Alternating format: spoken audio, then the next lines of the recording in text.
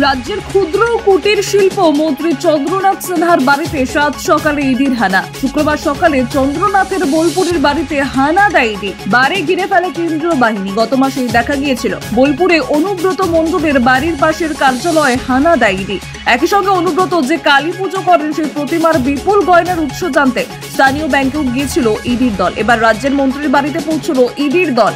অনুব্রত মণ্ডলের ঘনিষ্ঠ হিসাবে জেলার রাজনীতিতে পরিচিত চন্দ্রনাথ সিনহা। অনুব্রত মন্ডলের পাড়াতেই চন্দ্রনাথ সিনহার বাড়ি। আজ সকালে সেই বাড়িতেই হানা দেয় ইডি টিম, সঙ্গে প্রচুর কেন্দ্রীয় বাহিনী। বাড়ির সামনে তো বটেই, বাড়ির চত্বরেও যে গলি থাকে, সেখানেও সকাল থেকে দাঁড়িয়ে বাহিনী সূত্রের খবর, গরু পাচার মামলায় ইডির এদিনের অভিযান। এই মামলাতেই গ্রেফতার হয়েছেন অনুব্রত মণ্ডল। গরু পাচার কাণ্ডে বিপুল টাকার লেনদেন হয়েছে বলে বারবার দাবি কেন্দ্রীয় তদন্তকারী সংস্থার। যে মামলারই নতুন মোড় খুঁজতে এদিন চন্দ্রনাথের বাড়িতে ইডির হানা বলে খবর।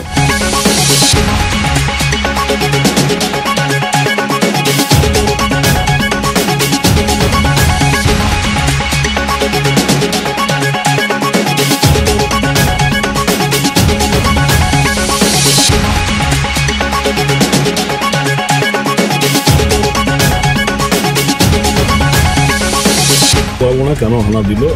আমি খবর পেয়ে যাচ্ছি। গিয়ে বুঝতে পারব। এখন কি বোলপুরে যাচ্ছেন? কোনো দুটো করেনি ডাক্তারবাবু আচ্ছা। এবং আমার ছেলের পরীক্ষা আজকে। আজ থেকে শুরু। এবং আপনার দলের কাজ তো করতেই হবে।